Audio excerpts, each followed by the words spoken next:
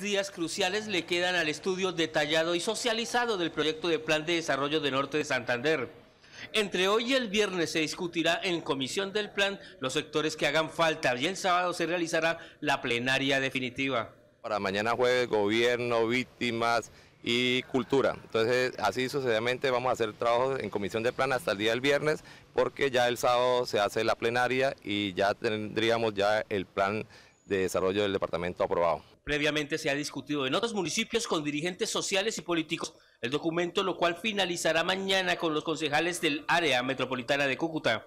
Que están hoy trabajando, eh, han abordado también la región, eh, la provincia de Ocaña, han estado en Ocaña, han estado en Chinácota y en Salazar.